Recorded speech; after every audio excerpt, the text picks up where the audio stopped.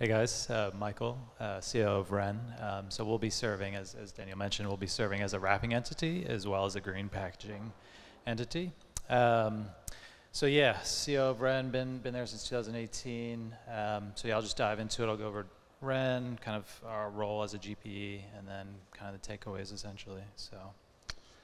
Um, Ren is essentially an interoperability protocol. So we take an asset, custodial it, mint a one-for-one representation on Ethereum, it can be Ethereum, Polygon, Solana, doesn't matter, just, just a layer one or layer two.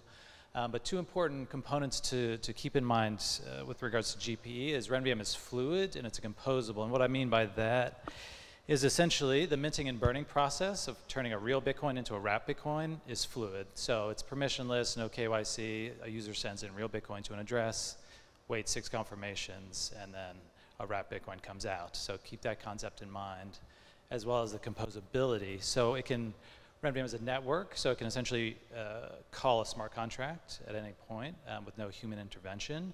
So that's another important concept to keep in mind as, uh, as we move forward.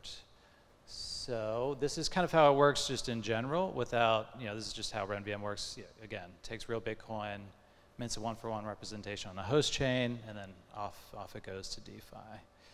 So that's that, and then we get into the GPE system.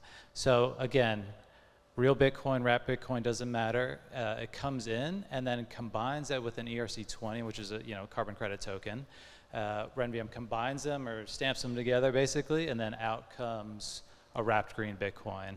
And again, this is uh, through kind of a smart contract call. So the user literally just sends in real Bitcoin. All this stuff happens under the hood and then out goes uh, a wrapped green Bitcoin. So pretty pretty straightforward, honestly. Um, and this is kind of how the contract approval process works. Again, this is under the hood. Uh, you approve the contract to spend your two funds, the carbon credit token, the wrapped uh, Bitcoin and or a real Bitcoin. Um, those are spent essentially, and then the carbon credit token is sent off to be burnt or utilized.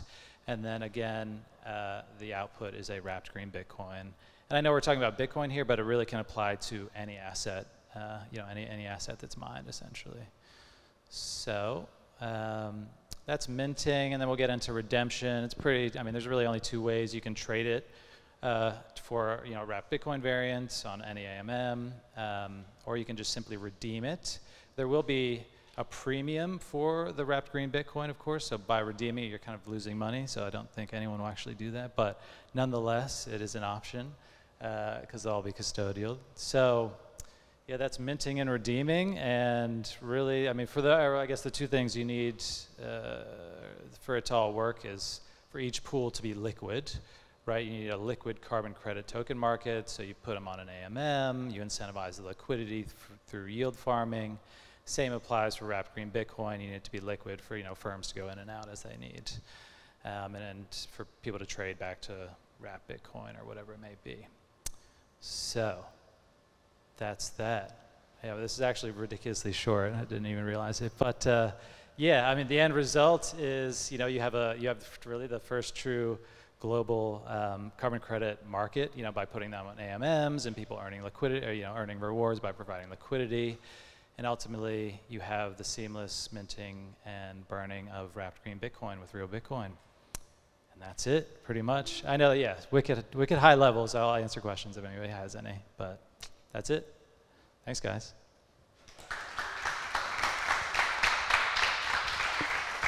Any any questions before I leave? No. Good. Oh yeah. Go ahead. Yes, so the, I think the premium will be established by the free market, essentially. Um, I mean, you know, there'll be a certain set of, you know, whatever it takes to mine one Bitcoin, that'll essentially be matched by a carbon credit. And so let's just use two tons for an example. That two tons will have a specific price associated with it, and you'd assume that the premium would be, you know, Bitcoin price plus the two tons of carbon. Like, and the market essentially will figure it out. Um, yeah, so that's how I assume it will work. Yes. Safe to assume you should wrap your Bitcoin now before Kleenex gets in to here. Yes, yes. Cheers, guys. Thank you.